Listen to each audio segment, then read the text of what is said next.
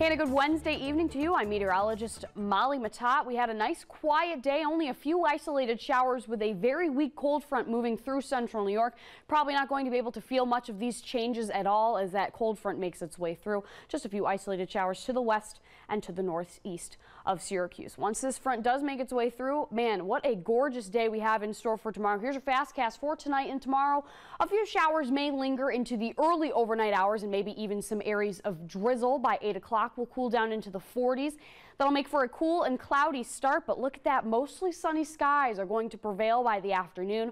We'll warm back up right where we should be for this time of year into the 60s. And then we're going to keep an eye on a much stronger front making its way through central New York during the day on Friday. Not great news for Super Dirt Week because we are expecting widespread showers across central New York. A much cooler weekend and then look at Monday. We rise back up into the 70s.